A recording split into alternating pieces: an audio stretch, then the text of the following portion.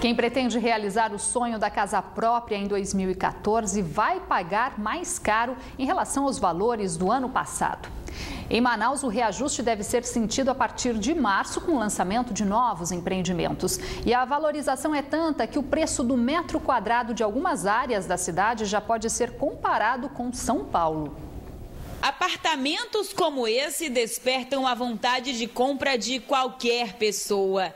Na central de vendas, opções de vários imóveis montados. São novos lançamentos com disponibilidade para financiamento. Só no ano passado foram 16 mil entregues. Apesar da concorrência entre as construtoras, eles ficaram mais caros em 2014.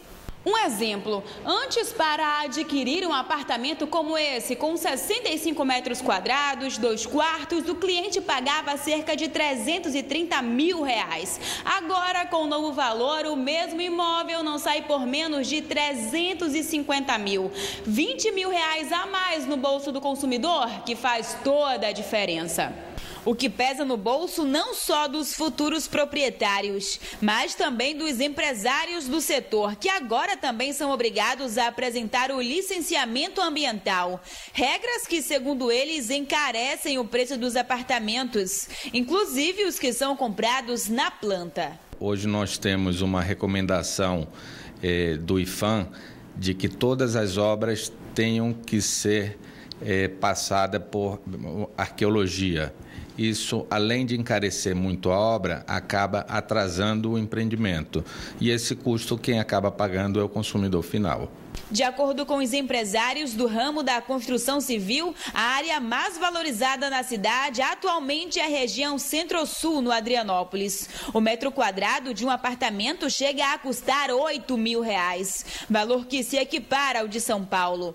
Para os corretores de imóveis, vale a pena, já que muitas áreas na cidade estão em acessão. Fundamentalmente, você tem que levar, são, são várias dicas né, que você tem que fazer uma análise. A localização, Uh, se ela tem realmente aí o, qual é a expectativa de valorização dessa localização, o preço, evidentemente, como é que está sendo praticado esse preço, como é que você vai pagar esse empreendimento e analisar o projeto. Foi o que fez esta analista de importação, que não se arrepende de ter comprado na planta um apartamento há cerca de dois anos.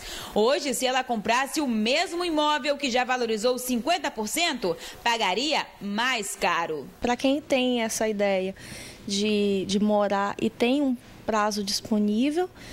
E também para quem quer investir por causa da questão do, do da valorização. 50% em um ano e meio é uma coisa que você não conseguem um outro tipo de investimento, né? Novas unidades devem ser lançadas em março, quando a diferença de preço será sentida no bolso do consumidor. Mas, de acordo com as construtoras, existem imóveis que não foram vendidos no ano passado e que se tornam uma opção para quem não quer esperar muito para receber as chaves.